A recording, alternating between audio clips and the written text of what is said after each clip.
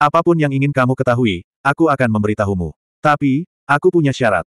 Demon Marshal Old Eight menatap lurus ke arah Feng Hao. Keputusan ini sangat mendadak, namun baginya, yang mengetahui bahwa tidak ada batasan waktu untuk berkultivasi, ribuan tahun telah berlalu dalam sekejap mata. Selama dia bisa menjadi puncak eksistensi dunia, bukan tidak mungkin untuk berkultivasi dari awal. Menurut pengetahuannya, banyak sekali ahli di alam semesta yang terus-menerus bereinkarnasi dan berkultivasi, agar terus-menerus menerobos dirinya sendiri. Feng Hao tidak menyangka kesadaran Demon Marshal Old Eight begitu tinggi, dan sedikit terkejut, kondisi apa? Demon Marshal berkata dengan nada serius, saya ingin tinggal di sini selamanya. Apa? Feng Hao tidak bisa menahan diri untuk tidak terkejut. Keadaan ini. Dia sedikit terkejut. Demon Marshal berpikir bahwa Feng Hao tidak mendengarnya dengan jelas, dan berkata lagi, saya ingin tinggal di dunia ini selamanya. Puff. Tidak jauh dari situ, ketika Ciyu mendengar kata-kata Demon Marshal, dia tidak bisa menahan tawa. Dia awalnya berpikir bahwa orang ini berani mendiskusikan kondisi dengan Feng Hao, nyalinya agak terlalu besar. Siapa sangka syaratnya adalah tetap berada di Win Universe. Menarik. Datang untuk menjadi karung pasirnya. Feng Hao memelototi Ciyu, dan Ciyu segera merasakan kekuatan yang kuat datang ke arahnya, dan sebelum dia bisa memblokirnya, dia dikirim terbang ratusan meter jauhnya.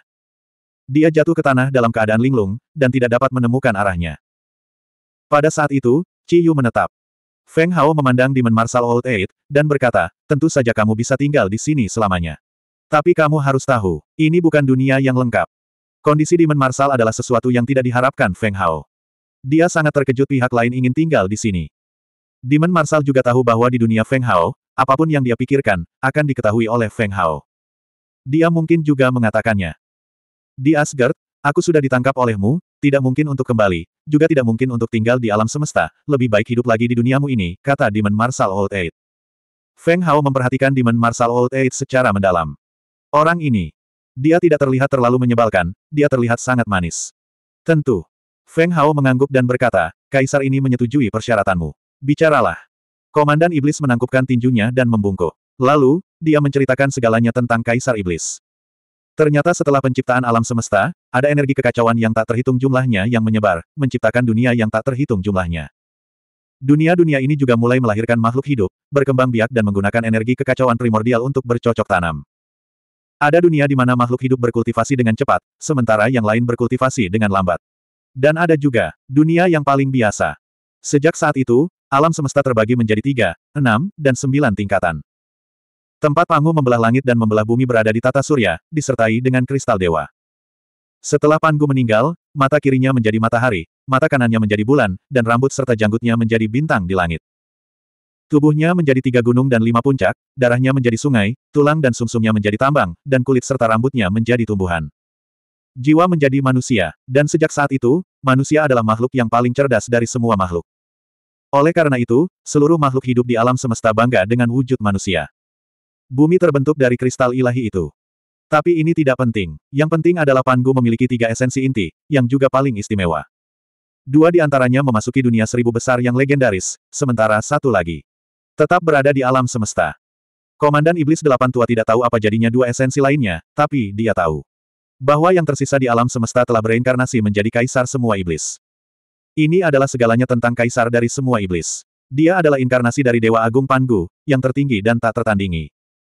Komandan Iblis Delapan Tua mau tidak mau merasa iri. Tapi dia percaya, bahwa di dunia Feng Hao yang tidak sempurna, dia juga akan menjadi eksistensi seperti kaisar semua iblis. Tetapi, Komandan Iblis Delapan Tua tiba-tiba memikirkan sesuatu. Dia memandang Feng Hao, dan kemudian memikirkan tentang kemunculan Kaisar Iblis. Lalu, seperti tersambar petir, dia berkata dengan suara gemetar, kamu, kamu adalah penjelmaan Dewa Agung Pangu. Kamu bukan berasal dari alam semesta, kamu berasal dari Great Sun World. Feng Hao menatap Demon Commander Old Eight sambil tersenyum, dan ada sedikit pujian di matanya. Dia sebenarnya bisa menebak dari mana asalnya. Namun, ini juga berarti bahwa Komandan Iblis Delapan Tua ini tidak mengarang cerita, dan semuanya benar. Dua esensi Pangu pergi ke dunia seribu besar, yang satu menjadi Pangu dari dunia seribu besar, dan yang lainnya. Jelas merupakan dirinya sendiri. Demon Marshal Old Eight telah menguatkan hatinya untuk mengikuti Feng Hao. Feng Hao dan Kaisar Iblis berasal dari sumber yang sama, dan tampaknya Feng Hao jelas lebih kuat. Pertama, Feng Hao mampu menyeberang, dan dunia yang diciptakan sendiri ini juga lebih sempurna daripada Kaisar Iblis. Di masa depan, jika peluang bumi jatuh ke tangan Feng Hao, itu akan menjadi reinkarnasi Pangu, yang dikenal sebagai penguasa seluruh dunia. Aku ingin menghabiskan sisa hidupku sendirian di dunia Kaisar Angin, Komandan Iblis Delapan Tua tersedak isak tangisnya.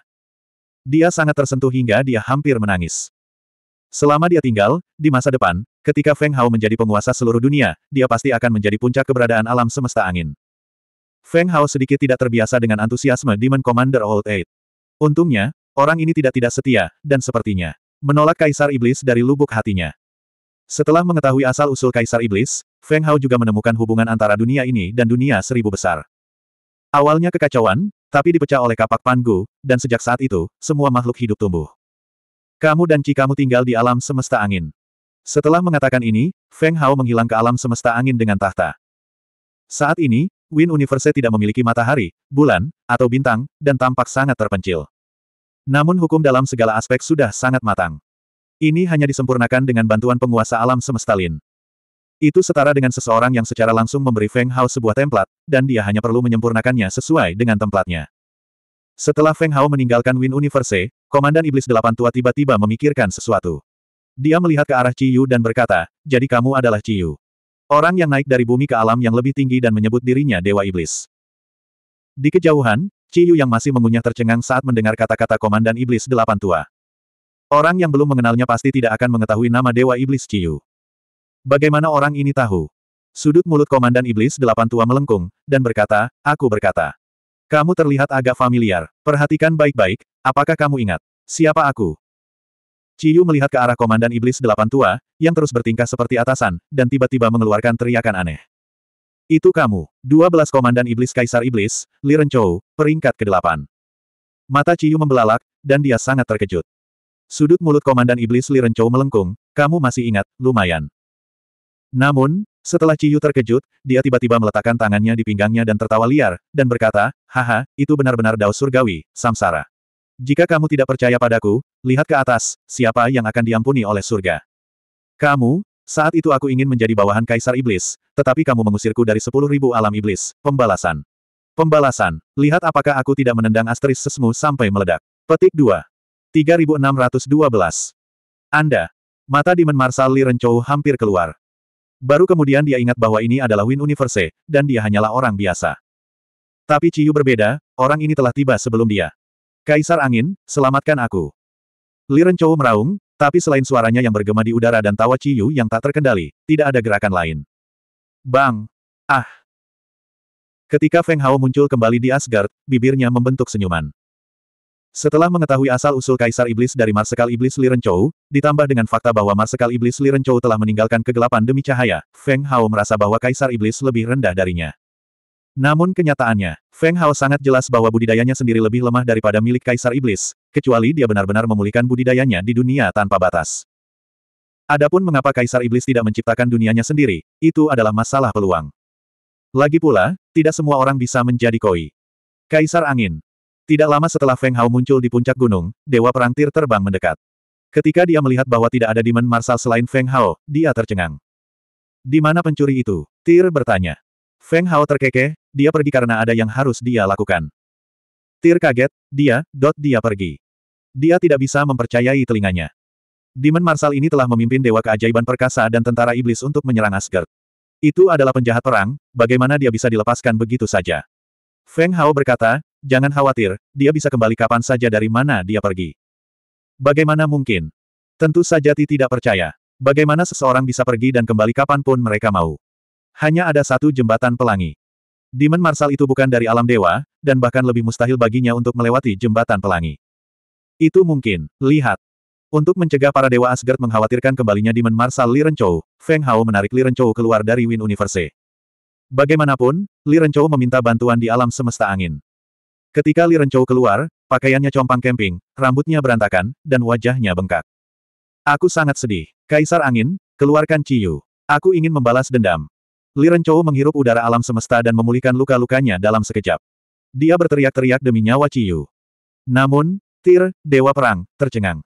Dia baru saja melihat dengan matanya sendiri. Demon Marshal Li Renchou muncul entah dari mana, seolah dia bersembunyi di kehampaan. Bagaimana? Bagaimana dia muncul? Suara Ti bergetar. Ini terlalu mengejutkan baginya. Siapa sangka jika dia benar-benar ingin Demon Marshal muncul, dia akan benar-benar muncul. Namun, ini adalah Asgard.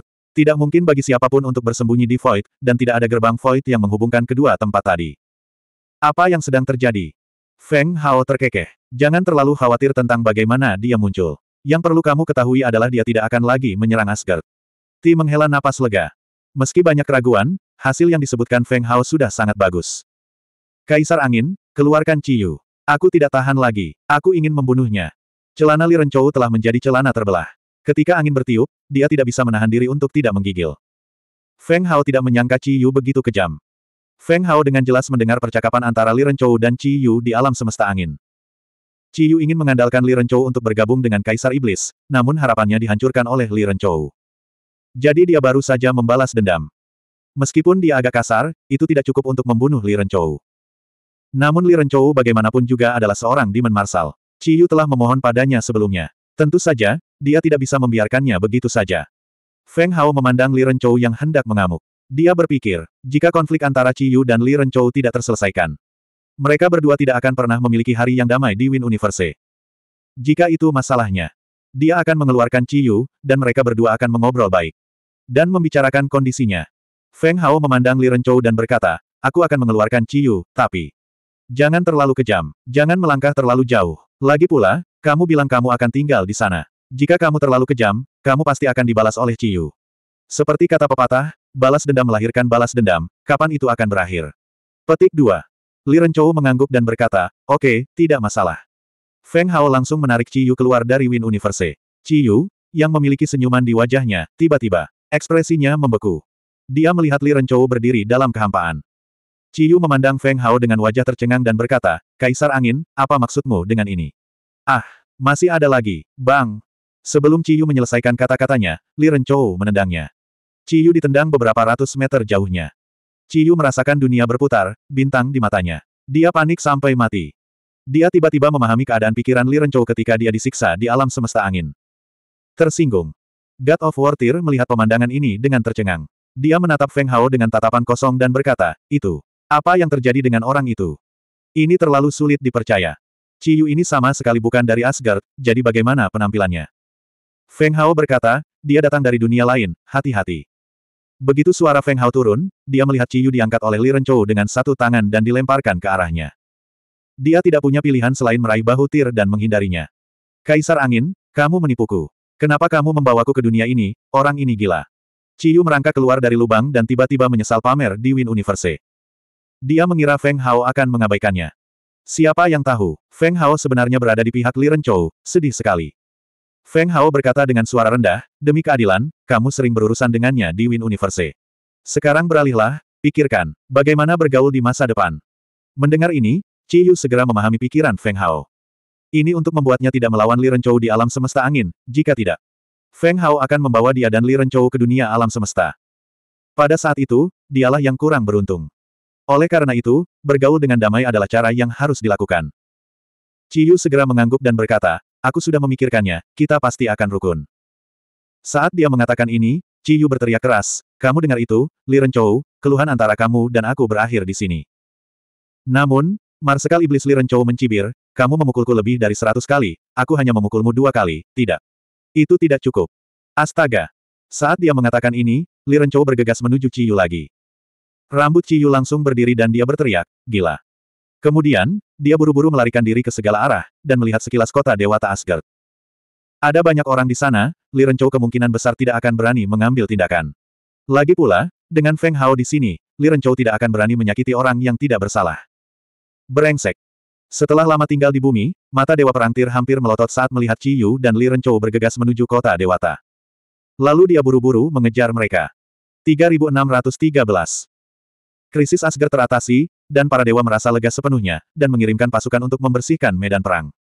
Meski Asgard pusing karena serbuan iblis kali ini, kabar baiknya adalah hasilnya memuaskan. Oleh karena itu, Asgard juga memanen sejumlah besar artefak mutakhir yang semuanya mengandung energi yang sangat kuat di alam semesta. Odin, ayah para dewa, sedang dalam suasana hati yang sangat baik. Asgard memang diberkati. Di saat krisis, Feng Hao muncul. Odin mengumpulkan sekelompok dewa berpengaruh, termasuk Dewa Petir, dan beberapa perwakilan dari kota kerajaan dewa untuk membahas rekonstruksi kerajaan dewa. Bagaimanapun, kekuatan iblis yang menyerang Asgard kali ini sangat kuat, dan banyak tempat hancur karena energinya. Rekonstruksi diperlukan. Tetapi pada saat ini, seorang penjaga di luar kuil buru-buru berlari masuk dan berkata, Ayah, dia ada di sini lagi. Monster itu ada di sini lagi. Senyuman di wajah Odin tiba-tiba membeku, dan tubuhnya bergetar. Bicaralah dengan jelas, yang mana? Monster yang mana? Ngomong-ngomong, Feng Hao belum pergi. Bukankah Dewa Perang Tir pergi mengundangnya? Cepat, dapatkan bala bantuan. Wajah Odin pucat. Bukankah semua iblis sudah mundur? Komandan Iblis Marsal juga dibawa pergi oleh Feng Hao. Bagaimana dia kembali? Penjaga itu berkata, itu adalah Marsal Iblis yang diambil Feng Hao. Dia kembali, tapi, ada satu orang lagi. Satu orang lagi, bukankah gerbang Void sudah ditutup? Odin tertegun, lalu menatap Heimdall dengan ragu. Apakah tidak ada masalah dengan jembatan pelangi? Heimdall, yang matanya bersinar, menggelengkan kepalanya. Tidak ada masalah. Odin sedikit bingung. Gerbang Void juga ditutup, dan tidak ada masalah dengan jembatan pelangi. Apa yang terjadi dengan orang tambahan ini? Thor, memegang palu Mjolnir, berdiri dan berkata, aku akan melawannya. Palu Mjolnir ada di tangan Feng Hao, dan potensi penuhnya dilepaskan. Bisa dikatakan Thor mendapat keuntungan dari bencana ini. Dia ingin melihat seberapa tinggi kekuatan tempurnya saat ini, dan apakah dia bisa melawan Marsal Iblis Alam Jenderal Ilahi selama 300 ronde. Odin juga merasa ini adalah satu-satunya cara. Bagaimanapun, Thor benar-benar mendapatkan peluang besar. Dia bahkan ingin mengambil kembali palu Thor. Dia bahkan tidak tahu bagaimana rasanya memiliki harta karun yang begitu bagus. Dia sedikit tidak mau. Odin mengangguk dan berkata, Baiklah, Thor. Aku serahkan padamu. Thor, Dewa Petir, mengangkat palunya dan terbang keluar kuil sambil menggoyangkan jubahnya. Odin ingin melihat siapa orang tambahan itu. Mungkinkah dia bisa keluar dari kehampaan? Jadi dia memanggil para dewa lainnya untuk meninggalkan kuil dan mengamati dari balkon. Odin baru saja membawa para dewa ke balkon besar ketika dia melihat dua sosok saling mengejar di langit di atas Asgard. Sosok di depan memiliki dua tanduk di kepalanya, tetapi basis budidayanya tampaknya sedikit lemah. Begitu sosok di belakangnya menyusulnya, dia menendangnya. Sosok itu menabrak beberapa rumah, lalu berguling dan merangkak pergi, hanya untuk ditangkap lagi.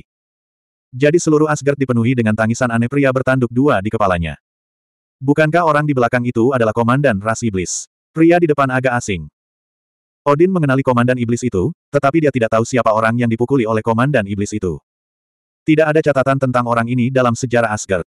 Namun kemudian, ekspresi Odin tiba-tiba berubah. Dia memandang Thor, yang tidak tahu harus berbuat apa, dan berkata, cepat, hentikan mereka. Asgard akan dihancurkan dengan tanah. Thor, Dewa Petir, sakit kepala. Hentikan mereka. Bagaimana dia bisa menghentikan mereka berdua sendirian? Thor kemudian melihat ke arah Tyr dan berkata, Tyr, ayo kita serang bersama. Aku akan menangani yang di depan, kamu menangani yang di belakang. Sudah beres. Suara mendesing. Setelah Thor selesai berbicara, dia mengayunkan palunya ke depan, dan tubuhnya diseret ke arah pelarian Ciyu. Tyr menatap kosong sejenak. Dia sedikit bingung. Mengapa Thor memilih Ciyu yang lemah? Mengapa dia ingin dia berurusan dengan komandan iblis yang kuat ini? Tidak bisakah keduanya bertukar posisi? Tyr memutuskan untuk tidak menyerang. Bagaimanapun, Thor, yang mewakili kemuliaan para Dewa Utara, telah menyerang. Feng Hao tidak menghentikan Li Renchou dan Ciyu. Dalam hal ini, seharusnya tidak ada masalah besar. Ciyu dipukuli sampai babak belur oleh Li Renchou, dan ada bercak hitam besar di bawah matanya. Kamu gila. Ciyu tidak menyangka Li Renchou memiliki keinginan balas dendam yang begitu kuat. Bukankah dia baru saja memberi sedikit pelajaran pada Li Renchou? Bukankah dia hampir melumpuhkan Li Renchou? Dia tidak sepenuhnya lumpuh, jadi mengapa dia harus menghadapinya seperti ini? Namun, apa yang membuat Ciyu merasa seperti akan pingsan adalah tiba-tiba ada perasaan ilahi lain yang mengunci dirinya. Dia menoleh, dan matanya hampir keluar dari rongganya. Bang! Thor menggunakan Mjolnir yang dikembangkan Feng Hao. Kecepatannya secepat kilat, dan saat Ciyu menoleh, Mjolnir Thor menyambutnya. Beberapa gigi Ciyu patah, dan tubuhnya terlempar ke belakang. Ketika dia menabrak beberapa rumah, Ciyu tercengang. Siapa saya? Di mana ini? Apa yang saya lakukan? Thor sangat gembira. Dia mendarat di samping Ciyu di reruntuhan dan berkata, kamu sangat lemah, namun kamu berani menyerang Asgard yang agung. Invasi apa? Ci kamu sedikit bingung. Kapan dia menyerang Asgard? Dia ditarik keluar dari Win Universe oleh Feng Hao. Siapa yang tahu di mana tempat ini? Selain itu, dengan tubuhnya yang setengah lumpuh saat ini, bagaimana mungkin dia masih punya mood untuk menyerang? Thor berkata dengan suara yang dalam, kamu masih tidak mengakuinya. Meretih. Guntur di Mjolnir-Mjolnir meledak seperti kacang goreng, menyebabkan kulit kepala Ciyu mati rasa. Tubuhnya saat ini tidak tahan dengan hal ini. Ciyu buru-buru menatap Li Renchou, matanya pecah-pecah. Li Renchou, kamu orang tercela, kamu benar-benar bergabung dengan orang lain untuk menghadapiku. Saya tidak menelepon siapa pun di Win Universe. Li Renchou menatap Thor dan berkata, aku tidak mengenalnya. Selain itu, tidak ada orang ketiga di alam semesta angin yang bisa kau hubungi. Li Renchou kemudian memandang Thor dan berkata, masalah ini tidak ada hubungannya dengan kerajaan ilahi Anda. Jika Anda ingin campur tangan, kali ini Feng Hao tidak akan membantu Anda. Apa? Thor tercengang saat mendengar bahwa Feng Hao tidak mau membantu Asgard. Jika dia tidak membantu, Marsal Iblis ini adalah orang yang kejam. Li Renchou menunjuk ke arah Ciyu dan berkata dengan lembut, orang yang baru saja kamu kalahkan adalah adik laki-laki Feng Hao. Kamu pukul dia. Berdengung. Thor sangat ketakutan hingga palunya jatuh ke tanah, dan kepalanya berdengung. Ini aneh. Orang yang dia pukul dengan ringan ini adalah adik laki-laki Feng Hao yang menyelamatkan Asgard. Lalu apa jadinya jika dia memukul adik Feng Hao? Hai! Dewa Perang Tirlah yang menyuruhku menghadapinya. 3614 God of War Tyr baru saja bergegas dan mendengar bahwa Thor telah menjualnya. Dia marah karena marah dan menatap Thor. Thor, kamu bajingan. Apa hubungannya ini denganku? Dia akan menjadi gila. Kapan dia membiarkan Dewa Petir berurusan dengan Ciyu? Apakah dia? Thor tersenyum canggung. Itu semua hanya kesalahpahaman. Dan karena campur tangan Thor, Li Renchou tidak terus menyerang Ciyu. Jika dia benar-benar menghancurkan Asgard, itu mungkin akan mempermalukan Feng Hao. Ciyu merasa lega melihat Li Renchou tidak berniat terus menyerangnya. Dia masih memiliki penyesalan di hatinya. Dia seharusnya tidak menyerang Li Renchou di alam semesta angin. Kini, semua tulang di tubuhnya hampir patah. Sangat tidak nyaman. Apakah semuanya sudah berakhir? Saat ini, Feng Hao perlahan terbang. Dia memasukkan tangannya ke dalam saku celananya dan memandang acuh tak acuh pada Chi Yu dan Sorrow of Separation. Li Renchou tidak berbicara. Chi Yu mengangguk dengan cepat. Ini sudah berakhir. Dia menatap Li Renchou dan berkata, Benarkah, Li Renchou, katakan sesuatu. Ya. Li Renchou tidak ingin melihat ke arah Chi Yu. Jika bukan karena dia khawatir Chi Yu akan menyerangnya lagi ketika dia pergi ke Win Universe, dia tidak akan berhenti. Chi Yu menghela nafas panjang dan menyeringai. Jangan khawatir, Aku akan menjagamu dengan baik saat kita pergi ke Win Universe. Li Renchou sama sekali tidak ingin berbicara dengan Ciyu. Faktanya, dengan kualifikasinya, meskipun dia memulainya lebih lambat dari Ciyu di alam semesta angin, dia yakin bahwa cepat atau lambat dia akan melampaui Ciyu. Feng Hao melihat beberapa bangunan yang dihancurkan oleh Ciyu dan Li Renchou dan merasa sakit kepala. Lalu dia menarik Li Renchou dan Ciyu langsung ke alam semesta angin. Keluar dari akal pikiran. Ke mana mereka pergi? Thor dan Dewa Perangtir melihat Yu dan Li Renchou menghilang ke udara tanpa fluktuasi apa pun. Mereka kaget dan lidahnya keluh. Odin, ayah para dewa, dan Heimdall juga bergegas mendekat dan bertanya-tanya, kedua orang itu masih di sana. Bagaimana mereka bisa menghilang? Feng Hao terkekeh. Mereka pergi ke tempat lain. Tidak mungkin mereka keluar lagi. Jangan khawatir. Dewa petir, dewa perang, dan bahkan Odin merasa terharu. Kata-kata Feng Hao diucapkan dengan ringan, tetapi siapa pun dapat mendengar betapa kuatnya Feng Hao. Tidak peduli bagaimana dia melihatnya. Sepertinya dia telah menciptakan dunianya sendiri. Terlebih lagi, yang lebih mengejutkan Odin dan yang lainnya adalah Komandan Iblis yang telah menginvasi Asgard telah beralih ke Feng Hao begitu cepat. Apa maksudnya ini? Ini berarti Feng Hao jauh lebih kuat daripada orang di singgah sana kegelapan. Tamu terhormat dari negara dewa, silakan datang ke kuil untuk mengobrol. Odin segera menyampaikan undangan, sikapnya sangat rendah hati. Baiklah. Feng Hao memikirkannya dan mengangguk. Karena dia sudah ada di sini, mengunjungi kuil bukanlah ide yang buruk. Sebagai target yang bisa diserbu oleh Demon Tirk, pasti ada yang spesial darinya. Feng Hao mengikuti Odin dan yang lainnya ke kuil Asgard. Para dewa di balkon segera menjadi berhati-hati. Seolah-olah ada atasan yang datang berkunjung. Satu demi satu, mereka meletakkan satu tangan di dada dan membungkuk. Selamat datang di kuil, pionir yang hebat.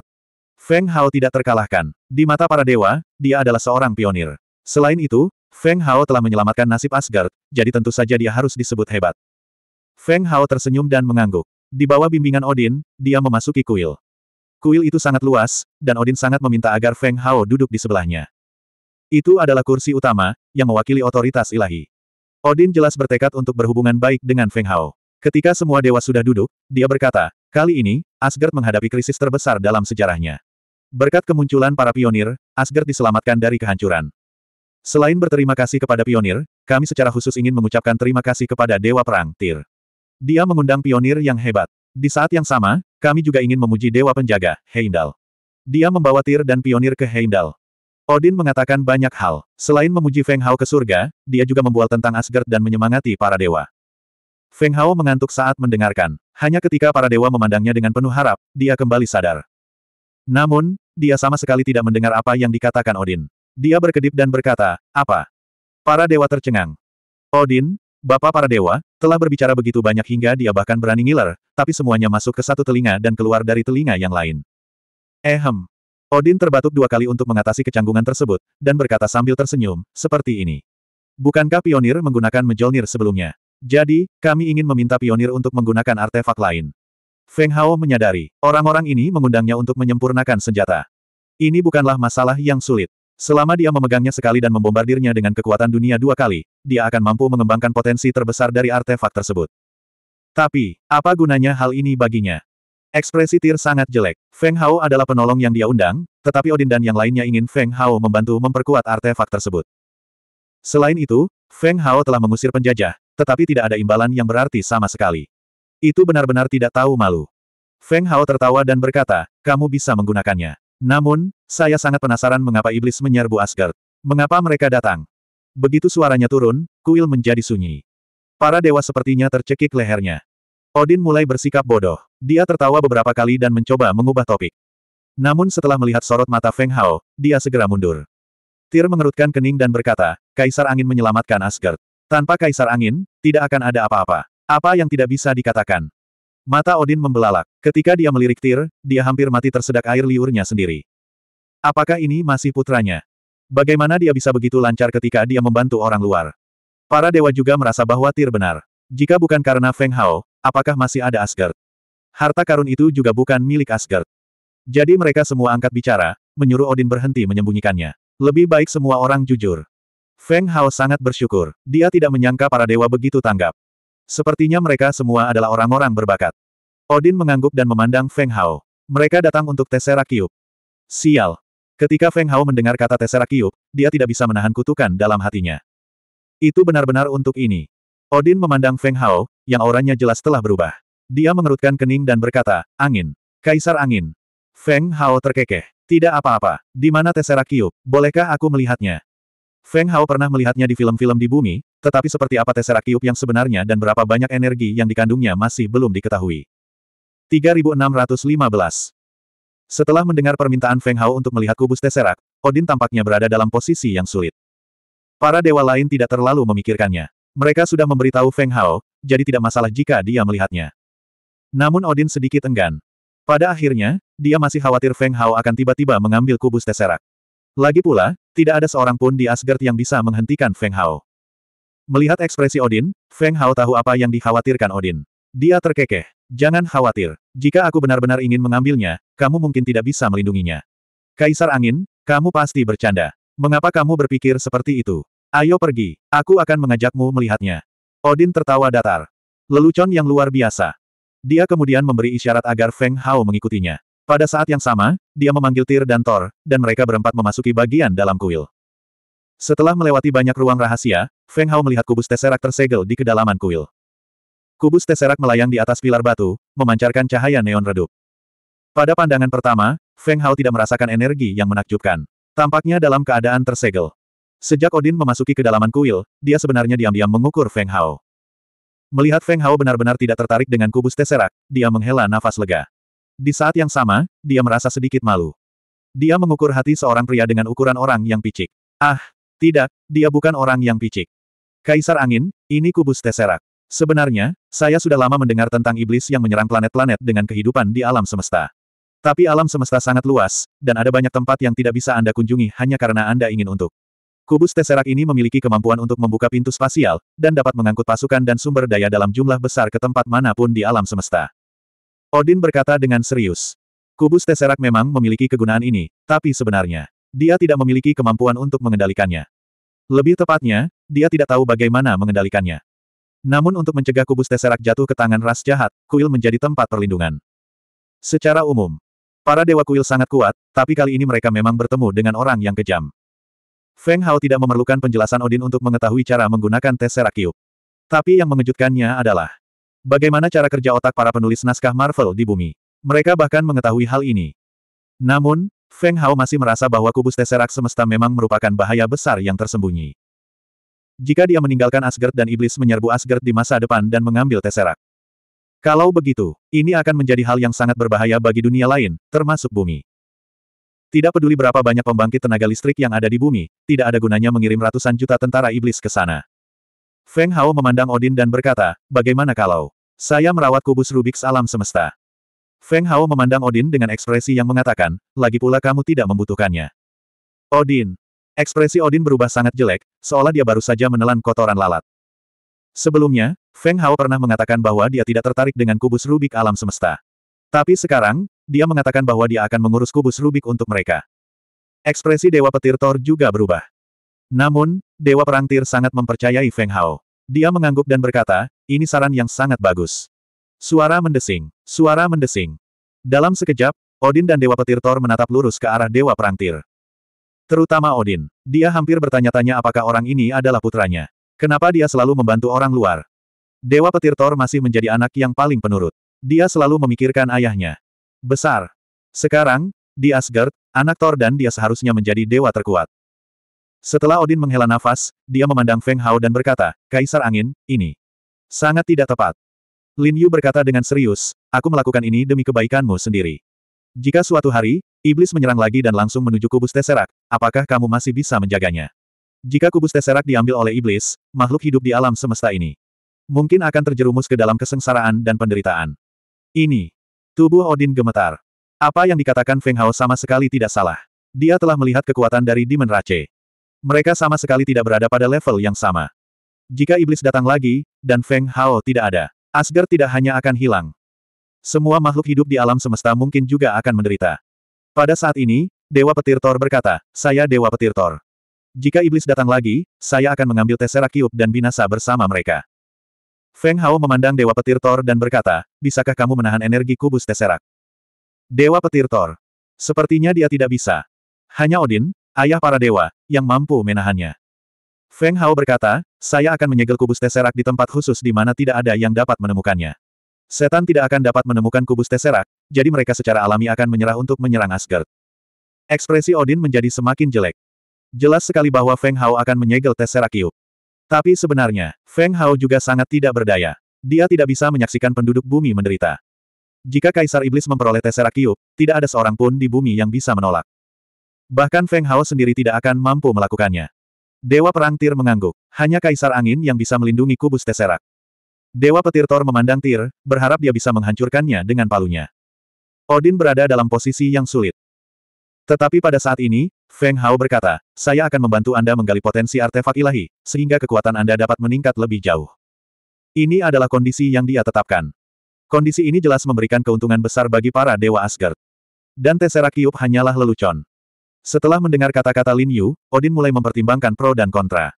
Di satu sisi, dia harus menggunakan harta yang tidak dapat digunakan, dan dia harus khawatir tentang musuh kuat yang datang untuk merebutnya. Di sisi lain, dia bisa tidur nyenyak, dan dia juga bisa meningkatkan kekuatan para dewa beberapa tingkat. Pilihannya sudah jelas. Odin berpura-pura berada dalam posisi yang sulit. Karena Kaisar Angin berkata demikian, aku tidak punya hal lain untuk dikatakan. Tapi ketika aku ingin mengetahui situasi kubus Tesseract, untuk mengetahui di mana letaknya. Tidak masalah. Feng Hao mengangguk. Kondisi ini tidak sulit. Ketika saatnya tiba, dia akan memasukkan kubus Tesseract ke dalam alam semesta angin, dan jika Odin ingin melihatnya, dia bisa melemparkannya ke dalamnya juga. Kalau begitu sudah diputuskan. Ayo, kita pergi ke gudang senjata. Odin menggosok tangannya. Selama Feng Hao dapat sepenuhnya membuka potensi artefak ilahi, Asgard mungkin menjadi lebih kuat. Feng Hao menunjuk ke kubus Tesseract. Dia bahkan belum meletakkannya, tapi Odin sudah ingat untuk meningkatkan potensi artefak ilahi. Odin tertawa datar. Kemudian, Feng Hao berjalan menuju Tesseract Cube, tangannya yang besar langsung meraihnya. 3616 Tesseract Cube adalah eksistensi yang dapat merobek ruang terbuka. Betapa menakjubkannya energi yang dikandungnya. Meskipun saat kubus Rubik tidak diaktifkan, suasananya senyap seperti hiasan. Namun jika seseorang tiba-tiba mencoba meraihnya, maka energi yang dikeluarkan pasti tidak menyenangkan. Odin melihat Feng Hao mengambilnya tanpa mempedulikan nyawanya sendiri, dan dia berkeringat dingin. Kuil itu mungkin akan dihancurkan. Namun, Feng Hao memandang Odin dengan ragu. Tangannya tidak berhenti saat dia meraih Tesseract Cube di telapak tangannya. Ah! Odin berteriak ngeri, kekuatan suci melonjak ke seluruh tubuhnya. Dia siap mempertaruhkan nyawanya untuk mencegah kebocoran energi kubus. Namun, anehnya kuil itu sepi. Tesseract Cube diam-diam melayang di atas telapak tangan Feng Hao. Kehancuran yang diharapkan tidak muncul. Odin menatap kosong pemandangan ini, sedikit bingung. Dia secara tidak sadar menahan kekuatan sucinya. Tidak ada apa-apa, Odin bertanya dengan ragu. Tidak ada apa-apa. Feng Hao sedikit terkejut. Bukankah itu hanya mengambil Tesseract Cube? Apa yang mungkin terjadi? Faktanya, dia baru saja berpikir untuk berhenti, tapi dia merasa Tesseract Cube sepertinya menyambutnya untuk mengambilnya. Oleh karena itu, dia secara alami memegangnya di tangannya, dan tidak terjadi apa-apa. Odin tercengang. Cara kasar apa pun untuk menangani Tesseract Cube ini bersifat merusak. Kenapa kamu baik-baik saja? Sudut mulut Feng Hao terangkat membentuk lengkungan saat dia terkekeh, mungkin karena kekasaranku. Odin. Dewa petir Thor. Seberapa narsisnya dia mengatakan hal seperti itu. Tapi, mereka benar-benar tidak melihat sesuatu yang aneh dengan Tesseract Cube. Mereka bertanya-tanya apakah itu benar-benar masalahnya. Menyukai kekasaran Feng Hao. Feng Hao menyingkirkan Tesseract Cube dan melemparkannya ke Win Universe miliknya. Dia mengira Tesseract Cube tidak bisa memasuki dunia lain. Tapi tidak ada masalah. Itu hilang. Namun, ayah para dewa, Odin, benar-benar tercengang. Cosmic Tesseract tidak dapat ditempatkan ke dalam artefak ilahi spasial mana pun. Bagaimana itu bisa menghilang begitu saja? Sama seperti Demon Marshal Li Rencou dan Chiyo, muncul dan menghilang ke udara. Sebaliknya, Tir sudah mati rasa. Siapa yang peduli ke mana perginya kubus Rubik? Lebih baik jika itu menghilang. Setidaknya Asgard tidak akan menghadapi bencana yang tidak patut lagi. Melihat Odin dan Thor sedikit bingung, Feng Hao berkata, Tesseract telah pergi ke ruang dan waktu lain. Tidak ada yang bisa menemukannya. Asgard tidak lagi berada dalam bahaya. Menurut Feng Hao, jika monster bisa datang ke Asgard dan bergegas menuju Tesseract, maka mereka pasti bisa merasakan lokasi Tesseract. Tapi sekarang Magic Cube telah pergi ke Win Universe, bahkan jika Monster Emperor datang secara pribadi, dia mungkin tidak dapat merasakan lokasi Magic Cube. Saat Feng Hao, Odin, dan dewa lainnya meninggalkan kedalaman kuil, di galaksi yang jauh di alam semesta. Pria misterius berjubah hitam itu duduk bersila di planet terpencil. Tiba-tiba, dia membuka matanya dan melihat ke arah tertentu di angkasa luar alam semesta. Dia mengerutkan kening dan berkata, batu sumber gerbang ruang dan waktu menghilang. Pria berjubah hitam itu berdiri dengan sedikit keterkejutan di wajahnya. Batu sumber tiba-tiba menghilang, bukan karena auranya tersembunyi, tetapi karena menghilang dari dunia. Pria berjubah hitam itu melambaikan tangannya, dan seorang pria keluar dari kehampaan dan memerintahkan, selidiki keberadaan batu sumber gerbang ruang dan waktu. Ya, yang mulia. Tanpa kata-kata yang berlebihan, manusia itu berubah menjadi aliran cahaya dan meledak ke angkasa terdalam alam semesta. Di Asgard, setelah Feng Hao mengumpulkan Tesseract, dia juga memenuhi janjinya kepada Odin. Untuk membuka potensi artefak para dewa. Bagi Feng Hao, Permintaan ini tidak terlalu tinggi. Odin tidak meminta para dewa untuk menyerahkan banyak artefak, sehingga lebih mudah bagi Feng Hao. Tanpa satu artefak pun, dia hanya perlu menggunakan kekuatan dunia untuk mencucinya sekali. Itu setara dengan menerobos belenggu artefak itu sendiri. Setelah para dewa mendapatkan artefak yang sempurna, Thor merasa telah kalah. Jika bukan karena Mjolnir menghancurkan artefak dewa lainnya, dia akan menjatuhkan Feng Hao dan mengusirnya. Tahukah dia bahwa semakin langka sesuatu, semakin besar nilainya? Bukankah memperkuat artefak dewa lain untuk bersaing dengannya memperebutkan posisi dewa pertama? Hari di Asgard sangat panjang, dan Feng Hao bahkan tidak tahu sudah berapa lama dia berada di sini. Ponsel yang dibawanya telah berubah menjadi bubuk ketika ia melintasi jembatan pelangi. Jadi tidak ada cara untuk menebak waktu spesifiknya. Namun Feng Hao tetap memutuskan untuk meninggalkan Asgard. Odin dan para dewa berusaha mempertahankannya, dan bahkan ingin mendorong Feng Hao menjadi penguasa Asgard. Tentu saja, Feng Hao menolak. Dia adalah penguasa dunia, mengapa dia harus menjadi penguasa Asgard? Bukankah itu karena dia tidak melakukan apa-apa? Ketika Feng Hao pergi, lebih dari seratus dewa bernama melihatnya pergi di jembatan pelangi. Dewa Perang Tir dan Odin, serta para dewa yang telah melunakkan artefak, mengeluarkan sedikit air mata. Penjaga Heimdall memegang pedang di tangannya dan membuka lorong itu. Kekuatan ruang menyelimuti Feng Hao, dan dengan munculnya seberkas cahaya warna-warni, sosok Feng Hao meninggalkan Asgard. Mulai sekarang, tidak ada Feng Hao di Asgard. Ketika Feng Hao bisa melihat dengan jelas, dia menghirup udara segar, dan seluruh tubuhnya membeku sesaat. Udara di sini agak terlalu segar, membuatnya merasa seperti akan mabuk oksigen. Dan kekuatan spiritual antara langit dan bumi bahkan lebih menakjubkan lagi. Feng Hao menatap bulan dan mengerutkan kening. Ini bumi, tidak salah lagi. Masih ada bulan di langit, dan hukum antara langit dan bumi tidak berubah. Itu pasti bumi. Namun energi spiritual dan udaranya agak aneh. Mungkinkah, dua atau tiga hari di Asgard sama dengan ratusan tahun di bumi? Tubuh Feng Hao tidak bisa menahan gemetar. Jika ini masalahnya, bukankah Xia Xilan, Liu Xiaofei, dan gadis-gadis lain dengan kultivasi lemah semuanya akan mati? Feng Hao melonjak ke udara, dan ketika dia membungkuk untuk melihat ke tanah, dia menemukan dirinya berada di hutan tak berujung. Tidak ada cahaya di ujung dunia, tapi samar-samar dia bisa melihat lapisan kabut. Setelah beberapa saat, Feng Hao tiba-tiba mengerti. Inilah dunia di kedalaman kabut. Lokasi Heimdall ini sangat tidak akurat. Feng Hao menggelengkan kepalanya. Untungnya, tempat dia kembali adalah bumi. Jika itu menyebar ke tempat lain, dia akan tercengang. Meskipun dia tidak khawatir tentang bahaya atau apa pun, dia khawatir tentang teman-temannya di bumi. Feng Hao menemukan lokasi spesifik dojo dengan bantuan bintang-bintang dan bergegas. Namun, Feng Hao sedikit penasaran dengan dunia dalam kabut di bawahnya. Kini setelah energi spiritual di bumi telah pulih, area tersebut menjadi lebih luas. Selain banyak jalan menuju dunia lain, banyak juga makhluk purba di dalam kabut ini, tapi seberapa besar bumi sekarang? Ketika dia sampai di kedalaman kabut, Feng Hao mulai merasa sedikit bingung. 3617. Feng Hao telah melihat bumi berkabut di jalur langit berbintang kuno, dan dia selalu merasa bahwa area tambahannya tidak terlalu besar. Namun, baru setelah dia diteleportasi ke kedalaman bumi yang berkabut, dia menyadari bahwa area tambahan itu sangat besar. Dia tidak tahu apakah telekinesis ilahi miliknya tidak dapat mencapai akhir atau ditekan. Bagaimanapun, area di bumi yang berkabut ini sangat misterius. Feng Hao bertanya-tanya apakah dia harus tetap di dalam dan mengamati, atau meninggalkan tempat ini dan kembali ke dojo. Jika dia tidak kembali, dia tidak akan mengetahui situasi di luar dan berapa lama waktu telah berlalu di bumi. Feng Hao berpikir sejenak dan memutuskan untuk meninggalkan tempat ini sementara. Dia akan kembali ke dojo dulu dan mengambil keputusan nanti. Pada saat itu, Feng Hao tidak tinggal lebih lama lagi. Dia melesat menuju dunia di luar kabut. Ketika Feng Hao menerobos penghalang dunia berkabut dan muncul di kota nyata, itu sudah tiga hari kemudian.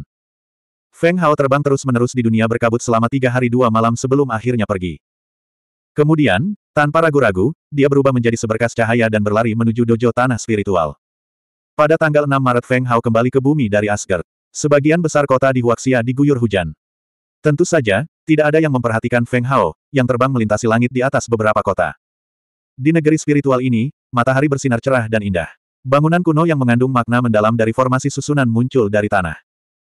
Atas upaya bersama pemerintah dan berbagai pihak budidaya, para petani yang telah mencapai tingkat tertentu telah menyelesaikan pendaftarannya.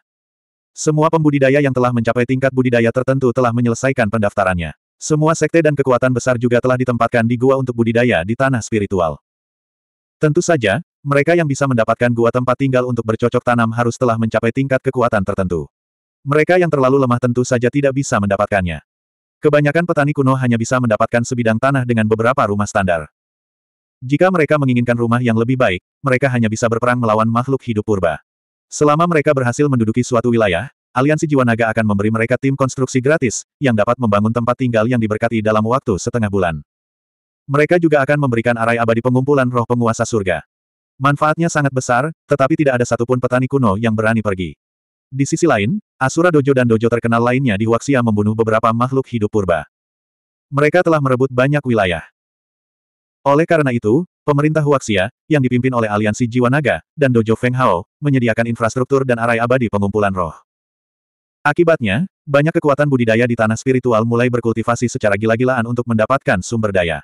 Semua ini bertujuan agar suatu hari nanti, mereka dapat menyapu seluruh makhluk hidup di tanah spiritual. Semua wilayah adalah milik mereka, semuanya milik mereka. Dojo Feng Hao seperti istana surgawi, membuat semua kekuatan budidaya utama iri.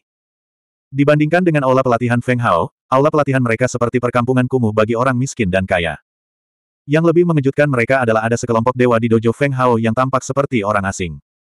Dalam kata-kata Yan Qi, penjaga dojo, semua dewa ini adalah dewa sejati, dewa Yunani dari Gunung Olympus. Karena alasan ini, semua media besar Tiongkok juga memberitakan masalah ini. Di sisi lain, masyarakat Yunani sangat kecewa. Sosok legendaris mereka benar-benar telah melemparkan dirinya ke pelukan dojo Tiongkok. Semakin sakit hati mereka, semakin banyak pula protes mereka. Pada saat Feng Hao meninggalkan dojo bersama Tir, tokoh inti di dojo, seperti Raja Iblis Banteng dan Sun Wukong, mau tidak mau merindukan Feng Hao. Raja Iblis Banteng juga menghentikan siaran langsung. Apa pun yang mencapai puncaknya akan menjadi sedikit membosankan. Faktanya, Raja Iblis Banteng khawatir bola kecil dan hitam kecil akan diam-diam mempermainkannya lagi, jadi dia tidak berminat untuk melakukan siaran langsung. Baru-baru ini, dia berkultivasi dengan Raja Perang Suci, Sun Wukong. Di Pulau Abadi Terapung, Raja Iblis Banteng menatap Sun Wukong, yang sedang bermeditasi di tanah dan berkata, Saudara monyet, kapan Kaisar Angin akan kembali? Sudah beberapa bulan. Sun Wukong membuka matanya dan menatap Raja Iblis Banteng. Dia mengerutkan kening dan berkata, Jangan panggil aku kakak monyet. Raja Iblis Banteng terkekeh dan berkata, Saudara Sun. Sun Wukong mendengus pelan. Dia sudah punya kekasih sekarang. Budidaya Gusukin telah meningkat pesat, dan dia telah lama menjadi eksistensi tingkat Sein. Dia setara dengan kaisar setengah langkah. Inilah manfaat dari penanaman ganda. Jika Gusukin tidak meninggalkan dojo bersama Prometheus baru-baru ini, Sun Wukong tidak akan membiarkan Raja Iblis Banteng datang untuk berkultivasi bersamanya. Sun Wukong juga pusing dengan masalah Raja Iblis Banteng. Dia tidak tahu berapa lama Feng Hao akan tinggal bersama Dewa Perang Tir, tetapi seiring dengan peningkatan budidayanya, samar-samar dia bisa merasakan keanehan tanah di bawah kakinya. Dia merasa bahwa tanah mengeluarkan fluktuasi khusus setiap menit dan setiap detik. Namun melihat berita, website, dan forum di seluruh Huaxia, tidak ada yang menyebutkan bahwa ada fenomena aneh. Namun fluktuasi semacam itu memang ada. Sun Wukong sangat bingung. Dia merasa mungkin dia hanya bisa mengetahuinya ketika Feng Hao kembali. Namun beberapa bulan telah berlalu, dan tidak ada kabar tentang Feng Hao. Seharusnya segera, kata Sun Wukong. Raja Iblis Banteng memutar matanya ke arah Sun Wukong dan berkata, haha. Namun, pada saat ini, bel tiba-tiba berbunyi di dojo. Sun Wukong dan Raja Iblis Banteng berdiri bersama, mata mereka bersinar. Sosok mereka langsung turun dari Pulau Abadi. Kaisar Angin telah kembali. Pada saat yang sama, pelindung Yan Qi berkata melalui mikrofon di dojo. Suara Yan Qi terdengar dari pengeras suara yang tergantung di Pulau Terapung. Untuk sesaat, seluruh dojo menjadi gempar. Kaisar Angin, yang menghilang selama beberapa bulan, akhirnya kembali. Banyak murid dojo tiba-tiba merasa bahwa kaisar mereka telah kembali. Begitu Feng Hao memasuki dojo, dia mendengar suara Yan Qi dari pengeras suara. Dia mengerutkan kening. Mengapa sepertinya dia memasuki desa? Seperti beberapa pengeras suara yang dipasang di tiang telepon di pedesaan. Kaisar Angin. Kaisar Angin. Penguasa Langit Purba, Sun Wukong, Raja Iblis Banteng, Yan Qi, Naga Jing, Kaisar Qin, Yang Jian, dan anggota inti dojo lainnya semuanya berkumpul. Raja Ilahi Zeus, Ratu Surga, Hera, dan para dewa lainnya juga datang menyambutnya. Meskipun mereka enggan, jika mereka tidak datang, penguasa surga purba akan mempersulit mereka.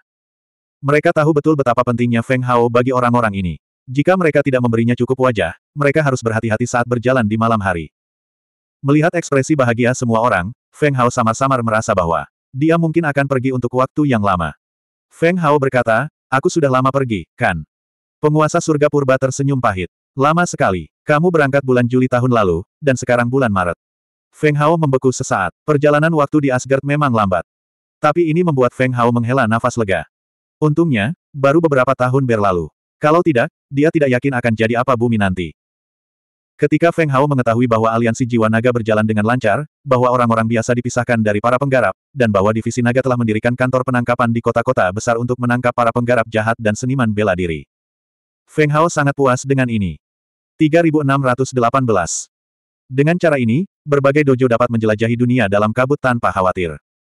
Mereka tidak perlu khawatir dunia sekuler akan jatuh ke dalam kekacauan. Semuanya berjalan dengan tertib. Feng Hao bahkan lebih percaya diri tentang pertempuran melawan pasukan monster di masa depan. Membubarkan. Feng Hao melambaikan tangannya dan membubarkan orang-orang yang datang untuk menyambutnya. Orang-orang ini terlalu formalistis. Dia baru saja kembali ke dojo. Tidak perlu melibatkan begitu banyak orang. Feng Hao memperingatkan penguasa surga purba untuk tidak melakukan hal semacam ini di masa depan. Penguasa surga purba mengangguk tak berdaya. Sebenarnya, masalah ini tidak ada hubungannya dengan dia. Semua orang mengira dia akan mempersulit mereka yang tidak datang untuk menyambut Feng Hao. Itu tidak mungkin. Ini semua adalah perbuatan pelindung Yan Qi. Dia ingin mendapatkan kembali perhatian Feng Hao karena masalah Ratu Surgawi Hera. Dia ingin menggunakan metode semacam ini untuk mendapatkan bantuan Feng Hao. Meskipun penguasa surga purba mengetahui hal ini, dia tidak punya waktu untuk mempedulikannya, jadi dia membiarkan Yan Qi melakukan apa yang dia inginkan. Tapi sekarang setelah Feng Hao berbicara, dia tentu saja tidak akan membiarkan situasi seperti ini terjadi lagi. Setelah Feng Hao pergi, penguasa surga purba meminta Yan Qi pergi ke istananya. Yan Qi merengut sedih dan mengikuti mereka seolah-olah orang tuanya baru saja meninggal. Setelah Feng Hao kembali ke dojo, Little Black dan Little Ball menghela nafas lega. Little Black berkata, kamu sudah pergi terlalu lama. Apa terjadi sesuatu yang besar? Feng Hao terkekeh, tidak, aliran waktu di kedua sisi berbeda. Setengah tahun bagimu hanyalah beberapa hari bagiku. Jadi begitu. Realisasi muncul di Little Black dan Little Ball. Raja Iblis Banteng tetap berada di sudut aula besar dan melihat ke bawah. Bahkan sekarang, dia masih menyimpan dendam yang mendalam terhadap Little Black dan Little Ball. Ini karena Zeus dari Gunung Pantheon akan mengirimkan petir untuk menyambarnya dari waktu ke waktu. Yang jelas, dia masih menyimpan dendam padanya karena telah memeluk Ratu Hera. Dan penggagas masalah ini adalah Little Ball dan Little Black. Goku memandang Feng Hao dan berkata, Kaisar Angin, kamu kembali tepat pada waktunya. Tepat pada waktunya, ada sesuatu yang ingin kubicarakan denganmu. Ekspresi Goku serius. Feng Hao tahu bahwa ini mungkin bukan masalah kecil, jadi dia berkata dengan serius, katakan padaku. Raja Iblis Banteng, hitam, dan bola kecil segera bersikap dan menatap Goku. Goku menarik napas dalam-dalam dan berkata, Sejak aku menerobos, aku selalu merasakan ada fluktuasi khusus di bumi. Fluktuasinya sangat kecil, tapi terus berubah. Little Black dan Little Ball saling memandang dan kemudian menutup mata mereka untuk melihat dengan cermat. Dia mengerutkan kening. Itu benar. Itu sangat halus. Jika seseorang tidak merasakannya dengan cermat, mereka tidak akan bisa merasakannya sama sekali. Yang mengejutkan mereka adalah Goku benar-benar bisa merasakannya. Kecepatan kemajuan kultivasinya terlalu mengejutkan. Raja Iblis Banteng, sebaliknya, tercengang. Tidak peduli seberapa keras dia berusaha, dia tidak dapat merasakan sesuatu yang aneh. Namun, dia tidak bisa membuat dirinya terlihat lebih rendah, jadi dia mengangguk dan berkata, Un. Little Black dan Little Ball memandang Raja Iblis Banteng dengan jijik. Bisakah dia menjadi tidak tahu malu lagi? Feng Hao memandang Goku sambil tersenyum dan berkata, saya memanggil kalian dan baru saja hendak memberitahu Anda tentang hal ini. Saya tidak menyangka bahwa Anda benar-benar mengungkitnya terlebih dahulu. Kultivasi Anda berkembang sangat cepat, monyet. Goku tersenyum pahit dan berkata, ini semua berkat dojo Kaisar Angin, Dot dan bimbingan para senior ras surgawi purba. Ngomong-ngomong, kenapa ada fluktuasi seperti itu? Saya telah mencari banyak informasi, tetapi tidak ada berita tentang ini. Goku tidak tahu dari mana datangnya fluktuasi ini atau apa tanda-tandanya, tapi samar-samar dia merasa itu bukan pertanda baik. Feng Hao mengangguk dan berkata, yang bisa kita yakini adalah bahwa fluktuasi ini muncul dalam setengah tahun terakhir, dan ini terkait dengan negeri kabut. Segera, Feng Hao memberitahu semua orang tentang apa yang dia lihat di negeri kabut setelah kembali dari Asgard. Jika bukan karena dia khawatir dengan perubahan di dojo dan dunia, dia mungkin akan tetap tinggal di negeri kabut. Sekarang situasinya sudah bagus, dia juga berencana membawa Goku dan yang lainnya ke negeri kabut untuk melihatnya. Mungkin akan ada beberapa peluang di sana. Ada benua yang luas dan tak terbatas. Itu di dalam kabut. Goku, Raja Iblis Banteng, dan yang lainnya terkejut. Teknologi dari berbagai negara juga sudah banyak berkembang. Gambar bumi dari satelit menunjukkan bahwa ukuran bumi hanya beberapa kali lebih besar dari sebelumnya. Tapi itu tidak terlalu besar sehingga ada benua yang luas dan tidak terbatas. Tidak peduli bagaimana mereka melihatnya, itu tampak sedikit palsu. Feng Hao mengangguk dan berkata sambil tersenyum, sulit dipercaya. Jika Anda tertarik, apakah Anda ingin pergi dan melihatnya? Little Black dan Little Ball segera melompat ke bahu Feng Hao, niat mereka sangat jelas. Mereka harus pergi. Mata Goku berbinar. Tentu saja, dia tidak bisa melewatkan sesuatu seperti dibesarkan oleh Feng Hao. Dia mengangguk dan berkata, dengan senang hati. Dan aku, Banteng tua. Raja Iblis Banteng juga berdiri dari sudut dan berkata dengan ekspresi sedih. Feng Hao melirik Raja Iblis Banteng dan berkata, saya tidak mengatakan bahwa Anda tidak bisa pergi. Mengapa Anda begitu sedih? Di antara orang-orang di dojo ini, Anda memiliki titik awal yang tinggi, tetapi kemajuan Anda paling lambat. Jika Anda tidak berkultivasi dengan benar kali ini, hidup Anda akan dalam bahaya. Raja Iblis Banteng gemetar. Hidup dalam bahaya. Bagaimana mungkin? Raja Iblis Banteng tertawa datar dan berkata, dengan kaisar angin di sini, bahaya apa yang mungkin timbul? Feng Hao berkata dengan serius, apakah menurutmu aku membuatmu takut? Bahkan alam ilahi hampir hancur di tangan orang lain, apalagi bumi. Ini. Nafas Raja Iblis Banteng terhenti dan dia bertanya dengan ragu, siapa yang melakukannya? Apakah kaisar angin membunuh pihak lain?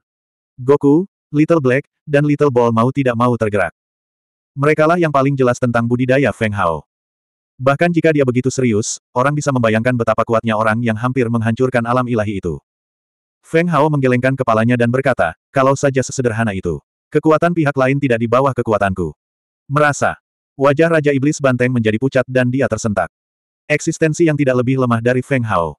Bukankah itu bisa membunuhnya dengan satu tamparan? Takut, takut.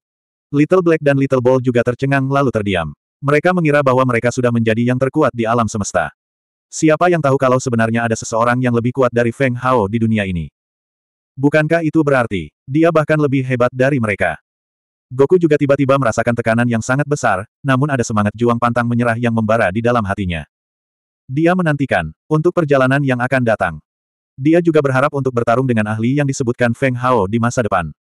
Feng Hao tidak mengatakan siapa pihak lainnya. Sebaliknya, dia tersenyum kepada semua orang dan berkata, jangan terlalu khawatir, setidaknya dia tidak akan datang dalam waktu dekat. Raja Iblis Banteng diam-diam menghela nafas lega. Dengan cara ini, dia mungkin punya cukup waktu untuk menemukan tempat bersembunyi. 3619. Xiao Qiu dan Xiao Hei mengikuti Feng Hao dari dunia kolosal. Apa yang belum mereka alami? Tidak ada yang perlu dikhawatirkan. Dalam kata-kata bumi, orang seperti Feng Hao memiliki lingkaran cahaya seorang protagonis. Tidak peduli seberapa kuat musuhnya, mereka hanya bisa diinjak-injak. Goku berkata, lalu kapan kita berangkat? Feng Hao memikirkannya. Tidak ada yang bisa dilakukan di dojo sekarang, jadi dia berkata, bersiaplah, kami akan berangkat kapan saja. Goku tiba-tiba merindukan Gusukin. Jika ada kesempatan dalam kabut, dia akan membiarkan Gusukin pergi bersamanya untuk melihat apakah ada keuntungan. Setidaknya saat mereka menghadapi bahaya di masa depan, Gusukin akan aman. Dia, pasti akan bertarung demi Feng Hao. Tapi dia khawatir ketika Feng Hao membutuhkannya, dia harus mengkhawatirkan keselamatan Gusukin. Saat itu, dia benar-benar tidak tahu bagaimana memilih. Feng Hao memandang Goku, yang berdiri di sana seperti balok kayu, dan tahu apa yang dia pikirkan. Dia terkekeh dan berkata, di tempat yang tidak diketahui, seseorang harus berjalan di depan. Kita tidak bisa menyeret keluarga kita ke bawah dari awal. Saya. Wajah Sun Wukong langsung memerah, dan dia mengangguk. Raja Iblis Banteng mengupil dan menunjukkan sedikit rasa jijik. Dia telah mendominasi rumah bordil, dan banyak sekali wanita yang menyatakan di WeChat bahwa mereka ingin melahirkan anak sapi untuknya. Saat ini, Tangkapan layar ratusan percakapan pribadi gadis-gadis yang beredar di internet semuanya bocor darinya. Oleh karena itu, orang-orang seperti Goku yang bergantung pada satu pohon sangatlah menghina. Goku dan Raja Iblis Banteng kemudian menyatakan bahwa mereka tidak perlu melakukan persiapan dan mereka dapat pergi kapan saja. Xiao Hei dan Xiao Qiu sudah lama lapar. Bagi mereka, hari-hari di dojo terlalu membosankan, jauh dari nikmatnya hidup bebas di luar. Feng Hao kemudian merasakan aura siasilan dan yang lainnya, dan memandang Goku dengan bingung. Ke mana perginya Gusukin dan yang lainnya? Puff! Raja Iblis Banteng hampir mengeluarkan seteguk darah. Dia jelas ingin bertanya pada Siasilan ke mana Liu Xiaofei dan yang lainnya pergi. Mengapa dia menarik keluar Gusukin? Feng Hao memelototi Raja Iblis Banteng, telinganya terbakar. Goku hampir tidak bisa menahannya, tapi dia jauh lebih tenang. Dia terbatuk ringan dan berkata, mereka pergi berlibur. Feng Hao bertanya, ke mana kamu pergi berlibur? Goku mengangkat bahunya dan berkata tanpa daya, bukankah ada pekan mode internasional? Mereka diundang secara khusus. Kurasa kali ini mereka akan mengejutkan dunia. Feng Hao tercengang. Mengapa mereka berpartisipasi dalam kegiatan semacam ini? Goku berkata, dalam kata-kata Yan Seven, untuk mempromosikan dojo, mereka akan mengatakan bahwa semua wanita di dunia adalah anggota dojo, dan mereka akan menarik perhatian seluruh dunia. Anda tahu bahwa mereka benar-benar ingin melakukan sesuatu untuk Anda, tetapi mereka tidak tahu apa lagi yang dapat mereka lakukan. Sungguh menyentuh. Raja Iblis Banteng menyeka air matanya dengan lembut di sampingnya. Tersesat. Pada saat itu, Goku mau tidak mau ingin menendangnya. Raja Iblis Banteng ini benar-benar menganggap dirinya adalah aktor terbaik. Kaki Raja Iblis Banteng menegang dan dia dengan cepat melompat keluar dari jangkauan serangan Goku. Dia menyeringai. Saudara Sun, ini hanya lelucon untuk meringankan suasana. Raja Iblis Banteng tidak percaya Sun Wukong benar-benar akan menendangnya. Feng Hao menggelengkan kepalanya sambil tersenyum masam. Dia tidak mendukung apa yang dilakukan Siasilan dan yang lainnya, tapi dia tidak menyalahkan mereka. Sebenarnya cukup bagus ketika dia memikirkannya. Daripada membosankan kesehatannya di dojo, lebih baik menjelajahi dunia setelah kebangkitan energi spiritual. Karena mereka tidak ada di sini. Maka ayo pergi. Feng Hao segera mengambil keputusan. Karena tempat di dalam kabut akan muncul selama periode ini, semakin cepat mereka memahaminya, semakin baik. Oke. Goku dan Raja Iblis Banteng mengangguk. Goku tiba-tiba bertanya, penguasa surga purba. Feng Hao berkata, dia seharusnya sudah tahu. Ayo pergi ke guanya dulu. Feng Hao membawa bola kecil dan hitam kecil ke gua tempat tinggal penguasa langit purba bersama Goku dan Raja Iblis Banteng. Meskipun disebut sebagai gua tempat tinggal, secara alami itu adalah pulau terapung yang melayang di atas dojo. Pada saat ini, penguasa surga purba sedang mengajari Feng Hao jalan 72 transformasi iblis duniawi. Ketika Feng Hao, Goku, dan yang lainnya datang, penguasa surga purba sudah merasakannya. Di aula luar, penguasa surga purba membungkuk kepada Feng Hao dan melihat formasi sebelum berkata, apakah kamu akan keluar? Begitu dia mengatakan itu, penguasa surga purba sepertinya mengerti dan berkata, apakah karena fluktuasi itu? Feng Hao mengangguk dan berkata, ya, bagaimana menurutmu, penguasa surga purba? Penguasa surga purba menyingkirkan kocokan ekor kudanya dan berkata dengan sungguh-sungguh, pasti ada yang aneh dengan masalah ini. Raja Iblis Banteng. Goku. Bahkan Feng Hao tidak bisa menahan diri untuk tidak terkejut. Tentu saja mereka tahu pasti ada yang aneh dengan masalah ini. Kuncinya adalah ada sesuatu yang aneh. Uhuk-uhuk. Melihat ekspresi tercengang Goku dan Raja Iblis Banteng, penguasa surga purba terbatuk dengan canggung dan berkata, aku tidak tahu apa sebenarnya yang aneh untuk saat ini. Raja Iblis Banteng segera bergumam, tidak ada gunanya bertanya. Sebaiknya kita selidiki sendiri. Goku mengetuk kepala Raja Iblis Banteng dengan kastanya dan berkata, diam. Penguasa surga purba mengelus janggutnya dan berkata sambil terkekeh, sapi kecil benar. Tidakkah kita akan mengetahuinya setelah menyelidikinya? Feng Hao memandang penguasa surga purba dan merasa bahwa dia sepertinya mengetahui sesuatu. Goku sepertinya juga memahami sesuatu. Ia menangkupkan tangannya dan berkata, Tuan Surga Purba, tahukah Anda sesuatu? Penguasa surga purba berjalan keluar dari aula dan memandangi langit biru cerah. Dia menggelengkan kepalanya dan berkata, saya tidak tahu apa sebenarnya itu, tapi samar-samar saya merasa bahwa ini adalah peluang besar yang berhubungan dengan umat manusia. Raja Iblis Banteng dan Goku tidak mau berbicara pada saat itu. Tidak ada gunanya mengatakan apa pun. Feng Hao setuju dengan kata-kata penguasa surga purba. Ketika dia kembali dari Asgard, dia menemukan bahwa energi spiritual di sana sungguh menakjubkan. Itu bahkan lebih menakutkan daripada bidang Tao dengan formasi pengumpulan roh. Tuan Surga Purba, apakah Anda bersedia pergi ke sana? Feng Hao bertanya. Penguasa langit purba menggelengkan kepalanya dan berkata, Kaisar Angin dan kedua teman mudanya boleh pergi. Tidak peduli apa pun, bidang Tao masih membutuhkan seseorang untuk mempertahankan benteng. Kaisar Angin, Raja Kera, Saudara Banteng, Tuan. Pada saat ini, Yang Jian, yang bertelanjang dada, keluar dari aula. Saya hampir lupa. Penguasa surga purba melihat Yang Jian dan berkata sambil tersenyum, jika mau, bawalah Yang Jian bersamamu. Anak ini sangat berbakat. Mungkin dia bisa bersaing denganmu di masa depan. Tidak. Yang Jian menyentuh kepalanya dan merasa sedikit malu. Mau tak mau dia tersipu malu melihat kebaikan penguasa surga purba. Namun, jika dipikir-pikir lagi, dia adalah sosok kecil di dunia sekuler. Hanya dalam waktu setahun, dia telah mencapai tahap ini. Bukankah itu semua berkat Feng Hao dan penguasa surga purba di depannya? 3620. Feng Hao tersenyum. Omong-omong, dialah yang membawa Yang Jian ke dojo. Bisakah dia dianggap sebagai pemandu? Kenapa aku tidak melihat anjing hitam besar itu? Feng Hao sudah lama tidak melihat anjing hitam besar itu. Dulu ketika Yang Jian masih manusia, anjing ini telah mempertaruhkan nyawanya untuk melindungi Yang Jian. Sama seperti transformasi ke-73 Erlang Sen, Howling Celestial Dog. Yang Jian berkata, hitam besar sedang berkultivasi di dojo. Kadang-kadang, dia akan pergi ke tanah spiritual untuk memprovokasi makhluk hidup purba. Meskipun dia dipukuli dengan kejam setiap saat, hidupnya tidak dalam bahaya. Feng Hao terkejut ketika mendengar bahwa anjing hitam besar itu begitu kuat sehingga dia tidak mati di tangan makhluk hidup purba. Yang Jian melanjutkan dengan malu, bukan karena hitam besar itu kuat, tetapi makhluk hidup kuno di tanah spiritual telah sepenuhnya ditakuti oleh kekuatan besar. Bahkan jika manusia pergi ke tanah spiritual mereka, mereka tidak akan berani melakukan apa pun. Kecuali jika ada manusia yang memprovokasi mereka terlebih dahulu. Hanya ketika manusia memprovokasi kita barulah kita akan bergerak, tapi kita tidak akan membunuh mereka, kita hanya akan memberi mereka pelajaran. Feng Hao tercengang. Dia tidak bisa menahan diri untuk tidak menggelengkan kepalanya sambil tersenyum pahit. Budidaya dewa kuno di tanah spiritual tidaklah lemah. Paling tidak, mereka berada di alam guru ilahi. Orang-orang seperti itu lebih kuat dari kaisar manusia. Namun siapa sangka makhluk hidup purba yang sombong ini akan dipukuli hingga tidak berani berteriak lagi. Sudah berapa lama? Harus dikatakan bahwa para penguasa jalan di tanah spiritual semuanya adalah karakter yang kejam. Mereka telah menjinakkan makhluk hidup purba dengan sangat baik. Mengaum. Pada saat ini, teriakan melengking tiba-tiba terdengar di luar gua tempat tinggal penguasa surga purba. Hitam besar. Ekspresi yang Jian tiba-tiba menjadi aneh saat mendengar lolongan itu. Bukankah dia ada di dojo? Mungkinkah dia pergi untuk memprovokasi makhluk hidup purba itu lagi? Yang Jian tidak bisa menahan diri untuk tidak melakukan Vespalem. Dia juga tidak berdaya menghadapi anjing hitam sebesar itu. Feng Hao secara alami merasakannya dengan kehendak ilahi. Ayo kita lihat. Sangat kejam. Jika aku tidak berlari cepat, lengan dan kaki kecilku akan terpotong. Aduh, sakit sekali. Anjing hitam besar itu menjulurkan lidahnya dan menjilat luka di kakinya. Itu adalah bekas cambuk yang mengejutkan. Bahkan sebelum dia sempat menjilatnya, anjing hitam besar itu melolong menyedihkan. Bukankah kamu bilang ingin berkultivasi di dojo? Apa yang sedang terjadi? Feng Hao dan yang lainnya keluar. Yang Jian memandang anjing hitam besar itu, dan ekspresi khawatir muncul di wajahnya. Namun, dia mencaci maki hal itu di matanya. Melolong. Anjing hitam besar itu segera menundukkan kepalanya, tampak seolah-olah mengetahui kesalahannya, namun saat melihat Feng Hao, ekornya langsung bergoyang-goyang dengan liar. Sangat kesakitan hingga meringis kesakitan dan ingin berdiri. Kemudian, ia mengelilingi Feng Hao dua kali dan melolong.